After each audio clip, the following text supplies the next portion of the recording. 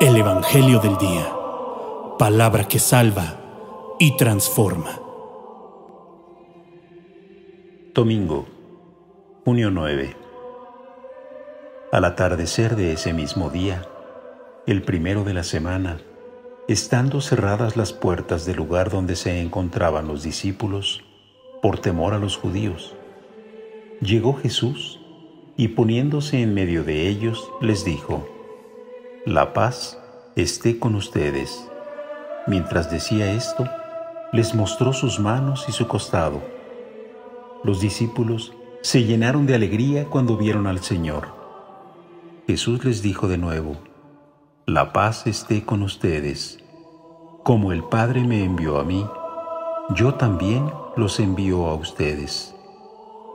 Al decirles esto, sopló sobre ellos y añadió, reciban al Espíritu Santo.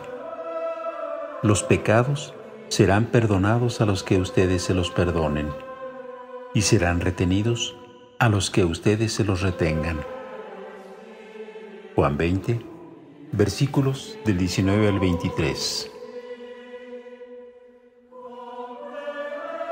San Juan Diego Radio, el mensajero de María.